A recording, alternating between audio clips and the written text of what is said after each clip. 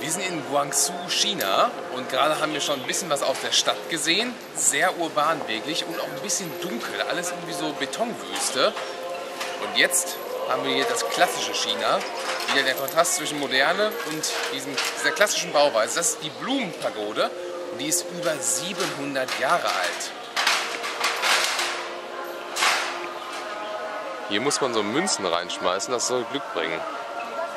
Hier sehen wir übrigens ein Hakenkreuz, aber es ist nicht wirklich ein Hakenkreuz, sondern es ist hier ein Symbol für Glück, hat also nichts mit Nazis zu tun.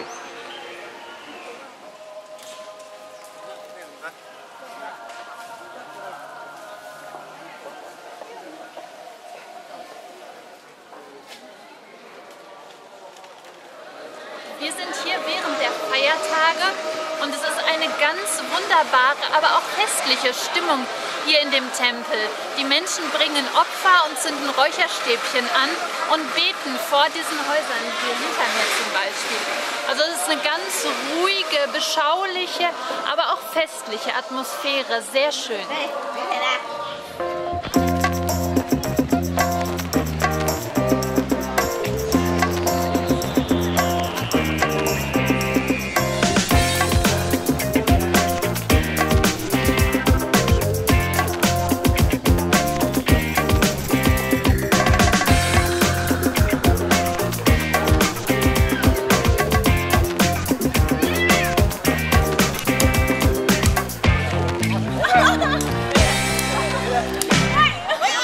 Die Chinesen ihre Mischung aus Fußball und Federball spielen, das ist die Insel Shamian, eine künstliche Insel, die heute wieder chinesisch ist, aber früher einmal europäisch war. Und das sieht man jetzt heute noch am architektonischen Einfluss. 1842, nach dem ersten Opiumkrieg, ging dieses Gebiet hier an die Briten. Und die haben sich dann quasi hier eingenistet.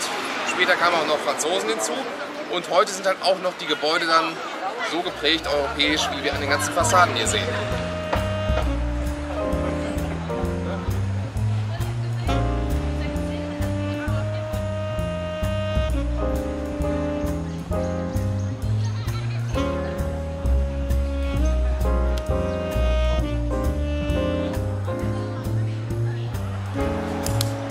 Aber nicht nur die Engländer und Franzosen haben ihren Einfluss hier, der noch immer spürbar ist, sondern auch wir.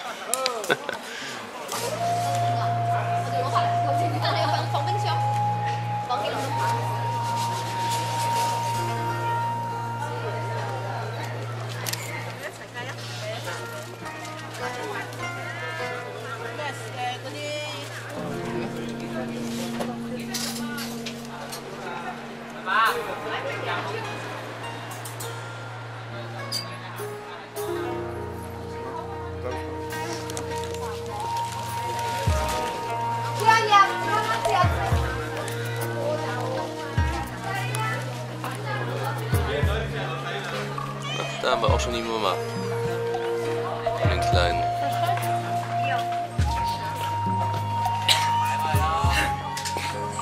Füße hoch, ja. Füße manche, die Leute, die Autos,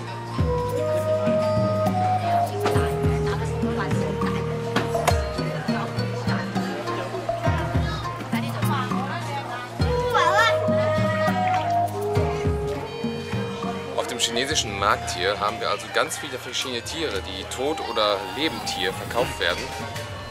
Wir haben Skorpione gesehen, daraus macht man Suppe. Also man kocht die quasi aus, schmeißt den hinter weg und dann löffelt man die Suppe aus. Das auf dem Stäbchen, das waren Geckos. Getrocknete Geckos sollen gut gegen Rheuma sein. Und wir haben jetzt hier auch Katzen und Hunde gesehen. Ganz süße Welpen. Und es ist tatsächlich so, dass die auch gegessen werden. Das ist für uns natürlich unvorstellbar.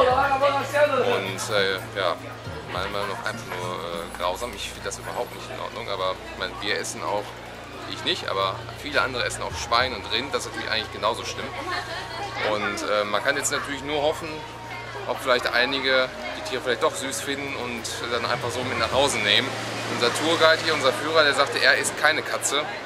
Naja, schon mal mindestens ein Lichtblick.